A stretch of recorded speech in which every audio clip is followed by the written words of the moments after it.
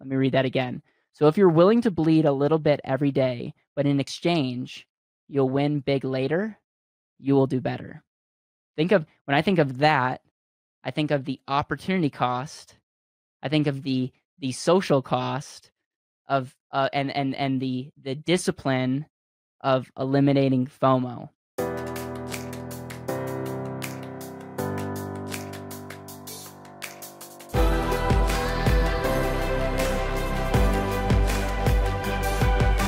This is Better Wealth with Caleb Williams.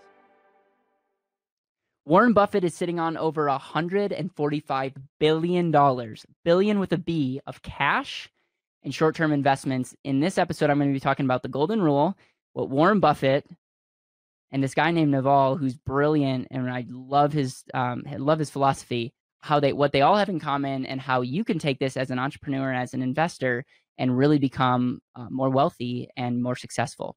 So Warren Buffett, obviously the icon person to watch in the market and has created a ton of wealth and, and has credited this wealth from uh, this idea of compounding. He's obsessed with compounding. He's obsessed with opportunity costs. He's obsessed with not losing money.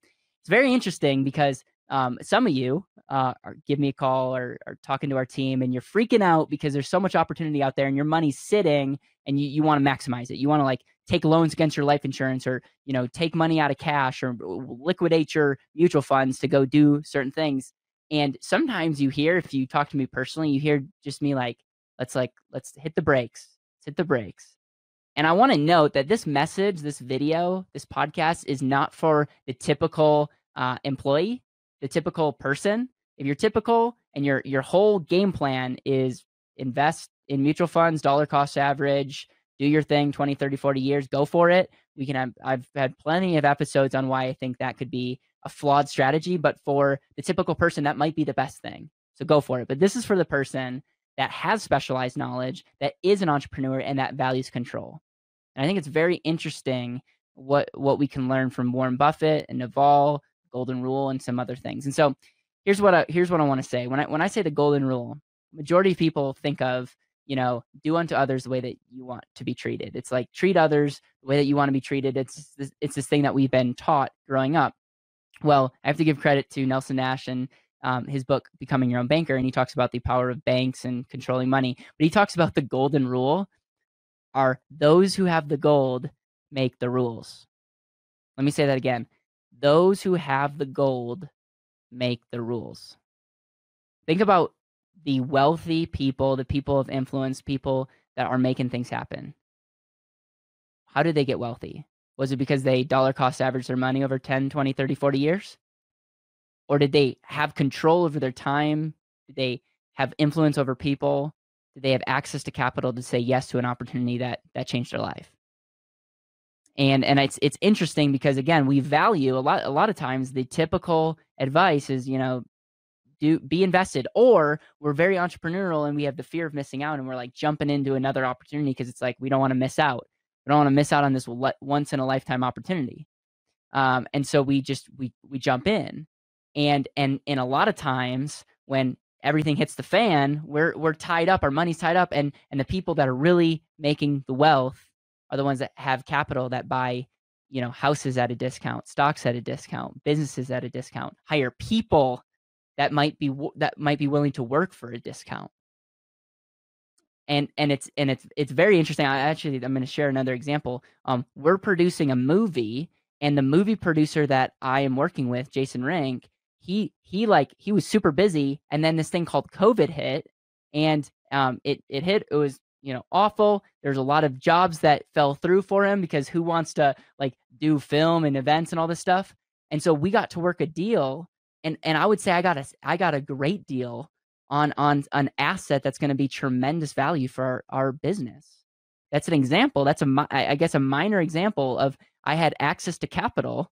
I had the golden rule working for me and i got to to say yes. And it was a true win win for all parties. But at the end of the day, um, if it was an amazing economy and there's the, the, demand from everybody and everyone had access to capital, I don't think we'd be doing the movie with Jason. Um, but that wasn't the case. And so that that's just a that's just one example of having access to capital. So what's interesting is Warren Buffett was and I and I got this article from Market Watch and we'll put the the link of the article in the description below. But he's at his, you know, annual stockholder uh, shareholder conference, and he's talking about you know obviously Buffett, and I'm quoting him, and said uh, that the pol- that the Federal Reserve and the stimulus package passed by Congress have done a tremendous job of propping up the economy. It's interesting that he used the word propping up, so propping up the economy, and interest rates remain low.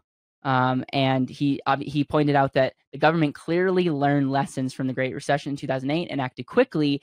But he pointed out that it's hard to know what's going to be happen to the long-term consequences of these policies, i.e., printing trillions of dollars, like how that's actually going to affect how inflation is going to affect the economy and uh, and interest rates. And I could do a whole rant that I will spare you guys. I could do a whole rant on how interest rates affect stocks, you know, how they affect housing prices, how they affect so many more things than we think. It's like we think all these things just appreciate, but it could be that our money's getting less valuable. And as a result, these things are staying its value, but because interest rates drop, um, we think they appreciate. And so it's just interesting that they're at an all time low.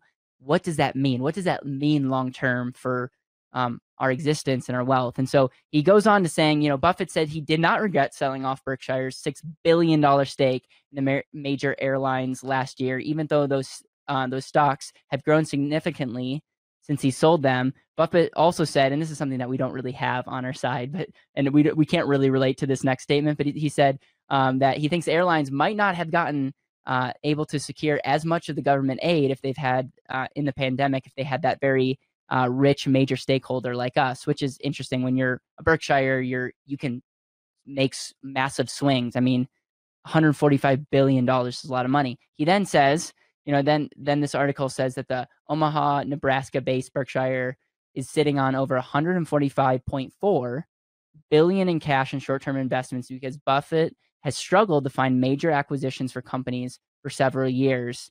Um, and he just and he points out later that there's there's just a lot of it's it's hard for them to find things that are tr- true value creation like value offers and so what they're doing is they're just sitting on cash and Warren's a pretty smart person. He has to report ultimately to the people and his investors, but they want to be able to make moves and they don't want to just buy into the FOMO. And it's just very interesting to be like, okay, Warren, again, he he might be credited too much, but he's he's been successful.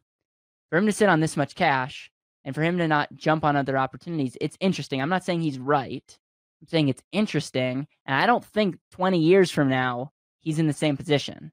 Like I, I don't I see these these couple years of, of Warren Buffett sitting on cash, I think is an um, indication that there's going to be money to be made because he's going to be one of a few people that if something hits the fan, if something changed, if there's a massive opportunity, Warren could 10x, 100x his wealth by having access to capital and saying yes.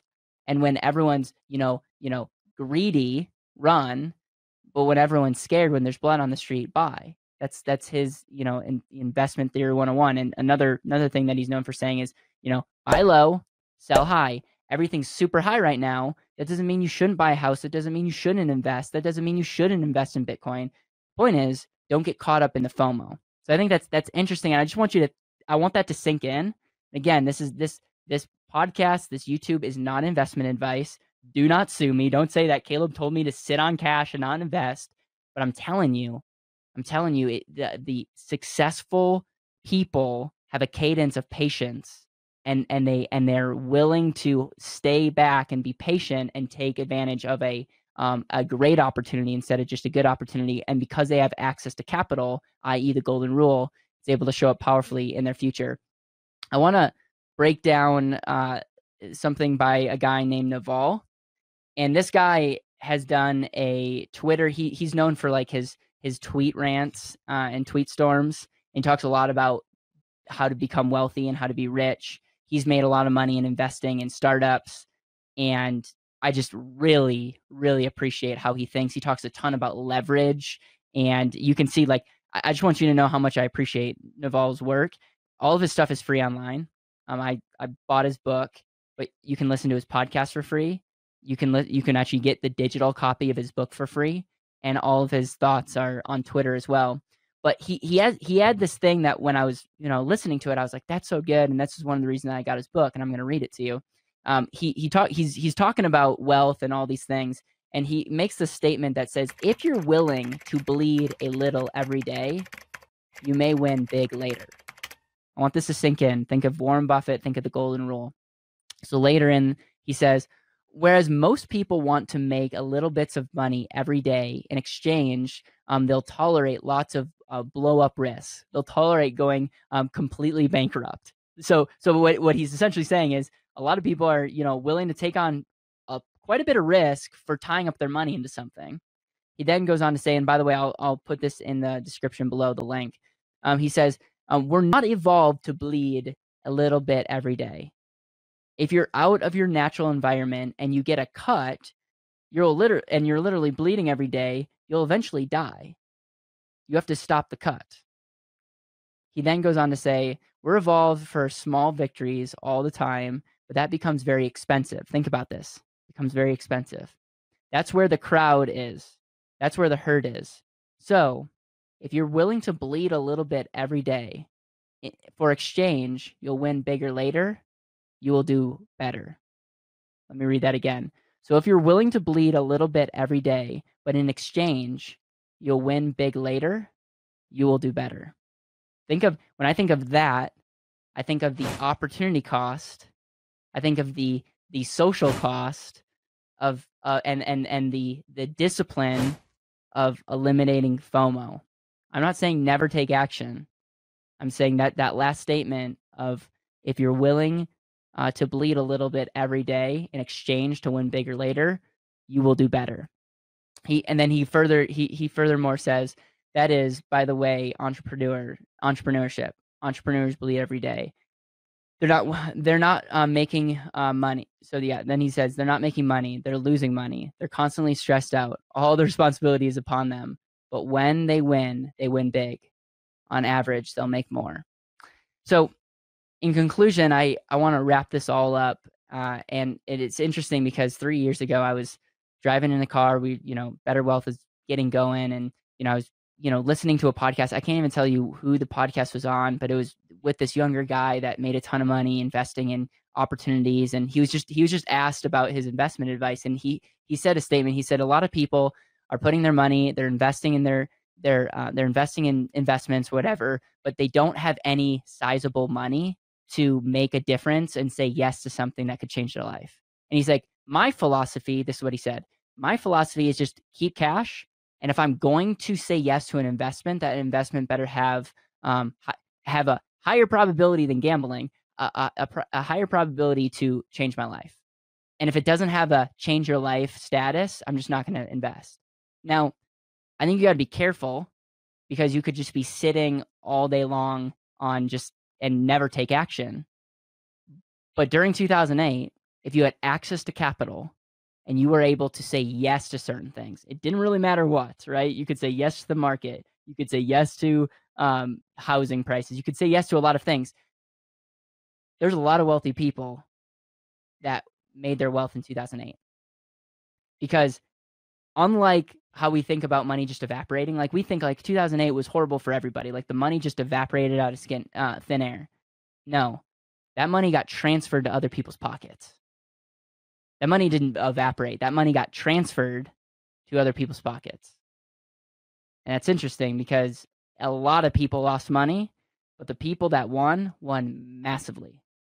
So I'm not saying Warren Buffett is right on this. I think it's very interesting that he's sitting on billions of dollars worth of cash. Um, and I, I think it's interesting that you know he's he's he's waiting and he doesn't feel comfortable to just jump in. I think Naval in his idea of you know you know we are not conditioned to want to bleed every day, but the person that can potentially bleed every day, and I, I see that as maybe missing out on your 8, 10, 20, 30% of interest that you could be earning. Like we're not conditioned to do that, but if we do, the golden rule those who have the gold make the rules. Do we have the ability to do that? This idea of opportunity fund are we going to be able to invest in opportunities? And just the example is are we positioned in something that we can literally change our life? So i know this is what was a unique podcast uh, but again i i'm making this i'm making this as a a legacy piece because i have a funny feeling that i'm going to reference this podcast back 5, 10, 15 years because I everything's cyclical. And I just think that this is a principle that you can live your life. It's not just on the economic markets. It's very much on on a lot of things. So with that, thank you. If you're watching on YouTube, I appreciate you. We're trying to grow our channel. Please share this with someone that needs to hear this message. And I appreciate all of the Better Wealth family that that tunes in around the world uh, to live more intentional and to really get their money as a tool to unlock that. Thank you so much for listening to the Better Wealth Podcast. It would mean the world to me if you could hit subscribe, leave a review, and share this with the people that you know and love.